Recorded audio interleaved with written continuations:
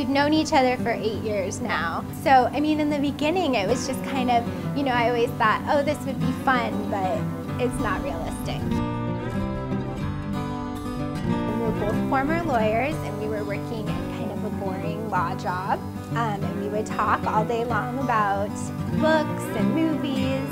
Um, and Amy had had this idea for a long time, and she shared it with me, I fell in love with it. Jumped right on board, yeah. I think a big part of it was creating a community space that people could connect with each other because I, it just feels like there isn't a lot of that anymore in our world, and so we were like, we want a place where, like, what we would do at work, where other people could do that too. I had thought of a bookstore for a long time, but I hadn't thought of food or drink. And then when we started like talking about it more, we were like, that's a way that a bookstore could probably make it. But then it kind of evolved. The name of the bookstore is based on a short story by Ernest Hemingway. So that was, I think, the first yeah. drink that we were like, well, we have to have yeah, a Hemingway daiquiri.